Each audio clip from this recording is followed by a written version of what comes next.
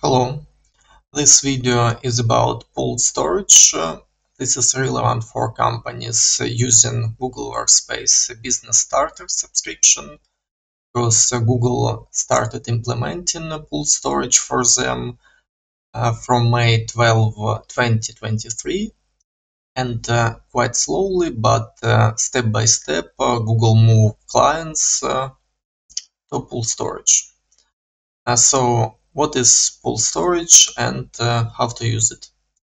Uh, let's go to Google Workspace admin console. Uh, by uh, going store storage section, you will see a total uh, disk space of the company. It depends on number of users and subscription uh, Uh, for example, I have 12 uh, enterprise users. Uh, this is 5 uh, terabytes uh, for each of them. At 12 times 5 is 60 terabytes of the total disk space for the company. Uh, previously, Google Workspace Business Starter user had users uh, had limit uh, 30 gigabytes. After switching to pool storage, there is no such limitation. By default, uh,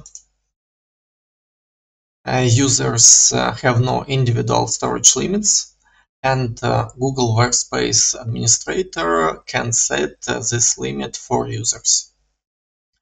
Uh, here is one example how to configure pool storage limits. we've add default limit 30 gigabytes uh, for users. Uh, also, we've created uh, security groups and uh, added appropriate users uh, to them.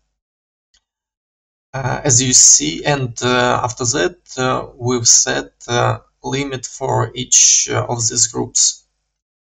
as you see, group with name storage limit 1 terabyte has limit 1 terabyte.